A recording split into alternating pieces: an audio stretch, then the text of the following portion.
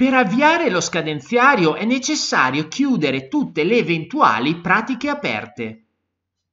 Tramite l'apposita funzione del menu Strumenti, Expert Locazione Immobiliare permette di gestire uno scadenziario degli adempimenti relativo a tutte le pratiche memorizzate nel percorso archivio visualizzato nella maschera.